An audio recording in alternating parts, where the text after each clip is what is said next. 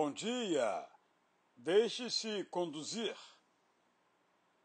Com a vida desgovernada, Saulo achava que sabia o que estava fazendo. Odiava, mas imaginava que amava. Manipulava, embora parecesse submisso. Sempre ensinava, mas se dizia aprendiz cheio de trevas no coração, embora o sol fizesse rachar o caminho sobre o qual trilhava. Foi surpreendido com uma luz ainda mais intensa e com uma voz forte e fraterna.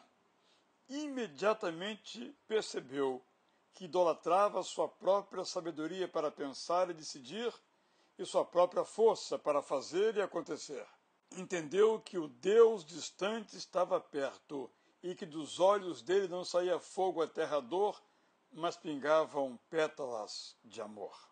Quando se dispôs a seguir, escutou o que devia esperar por um pastor que o tomaria pelas mãos. Entre as coisas que dele ouviu, mãos entrelaçadas, uma era que deverias retirar para bem longe, reaprender certo e revisar sua razão de existir.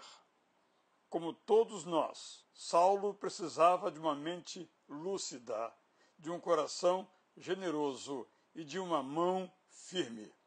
Deus lhe enviou Ananias. Na verdade, durante toda a sua vida, Saulo esteve em busca de Ananias. Pensou que o encontrara nos mestres de Tarso, que eram apenas lúcidos. Achou que era Gamaliel, que era apenas firme. Foi Ananias quem varreu as escamas dos seus olhos.